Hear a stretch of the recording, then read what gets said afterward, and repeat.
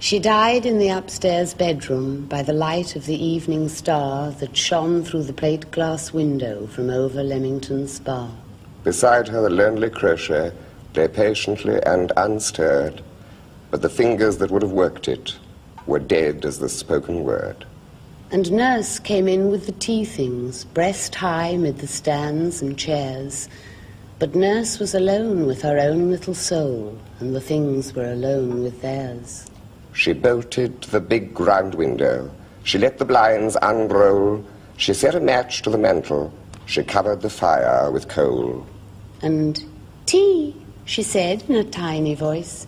Wake up, it's nearly five. Oh, chintzy, chintzy chariness, half dead and half alive. Do you know that the stucco is peeling? Do you know that the heart will stop?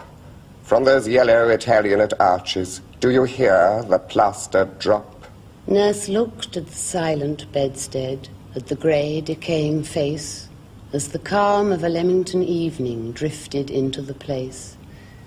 She moved the table of bottles away from the bed to the wall, and tiptoeing gently over the stairs, turned down the gas in the hall.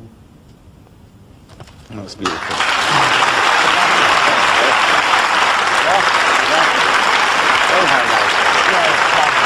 Very nice indeed. You enjoyed that, did you? Such a lovely kiss you.